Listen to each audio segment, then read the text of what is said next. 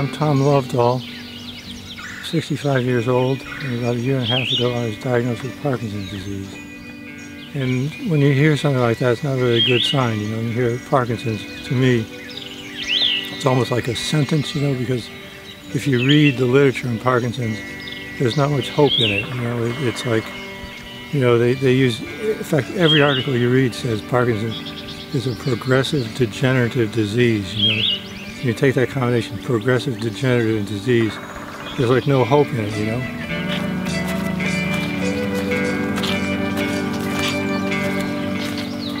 So I started taking some medication. I didn't like the medication. It made, made my heart restless. I couldn't sleep well. So I stopped the medication, and just by luck, I went online. I found a site called called Fighting Parkinson's Without Drugs. If you look at Chinese philosophy, they say that Parkinson's is really like a, a an energy imbalance. You know, they use the term qi, which is like qi is like the universal energy flow. We're standing right here now. We're in the, the flow of qi of this whole world. You know, the sound of these birds and the frogs and the wind and the feel of the sunlight. That's all qi. That all produces energy. They say in, in his philosophy, which I like, is really you need to embrace Parkinson's.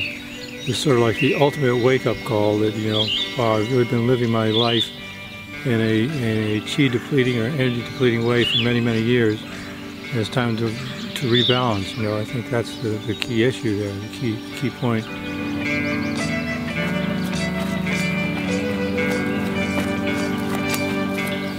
Bao Chi Chi Ji Zhou Lin Ba Lin Jiao Chi Chi Ji Zhou R R S S On and on. You do that for like five minutes or so too, and you feel the energy raise. So all this, it, it tends to give me hope. You know, I think it's a it's, it's a possible. When, when you look at the mainstream approach, people take these drugs that are pretty intense, um, and I see them taking more and more medication on tighter and tighter time intervals. So they'll max out the doses of these medications and, and they'll basically control the symptoms.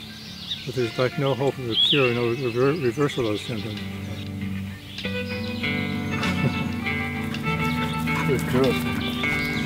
Good girl. And then when they get to a certain point, the medications don't work, they do this stuff called deep brain stimulation which involves drilling a hole in your head while you're conscious, putting electrodes into your brain, putting wires into your body, and putting like a little battery pack into your chest like a pacemaker. And that will control pulses to the dopamine producing region of the brain.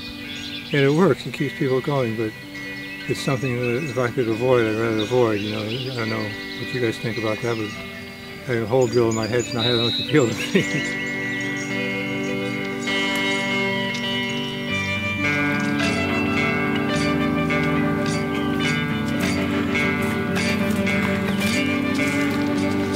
be careful, it's a little slippery out here.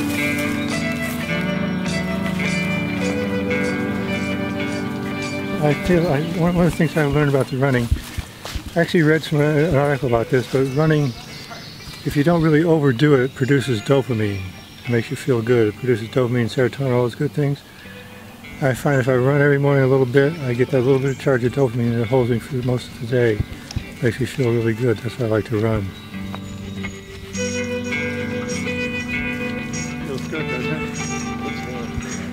So this particular series of exercises, uh, I feel like I'm holding my own. Some fronts I'm losing a tiny bit of ground, some fronts I'm gaining a little bit of ground. Overall, it gives me hope that you know there's a way to get through this without medic without heavy-duty medication.